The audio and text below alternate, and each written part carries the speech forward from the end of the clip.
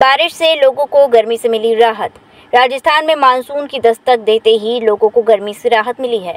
तो वहीं दूसरी तरफ़ किसानों के चेहरे खिलखिला उठे हैं। राजधानी जयपुर में भी पिछले दो दिनों से अच्छी बरसात हो रही है। हालाँकि इस बरसात से पूर्व सरकार में बनी सड़कों पर सवाल खड़े हो गए हैं।